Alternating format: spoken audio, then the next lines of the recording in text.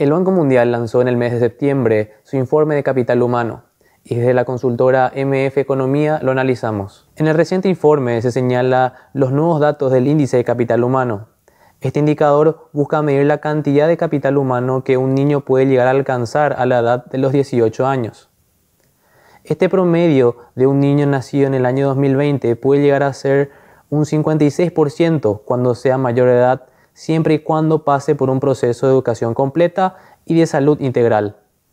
En su mayoría, los países asiáticos y nórdicos son quienes ocupan los primeros lugares con un promedio del 81% de productividad. Al observar las cifras para la región de América del Sur, la métrica de capital humano señala un 59% de productividad en promedio. En este caso, Chile, Perú y Colombia son los países de mejores rendimientos hacia esta zona del continente.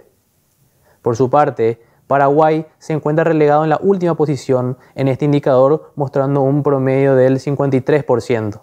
Los números del país señalan un fuerte rezago en cuanto al capital humano, en educación y salud de la población, que incidiría en las próximas generaciones en el caso de no tomarse políticas públicas correctas para atender a estas áreas sensibles.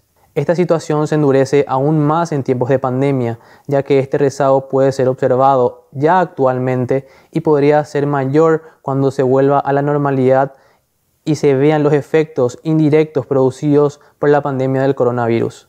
Es por eso que, si se busca generar un crecimiento económico sostenible y un desarrollo a largo plazo, es necesario poner estos temas sobre la mesa para empezar a discutirlos y generar políticas públicas que atiendan estas realidades.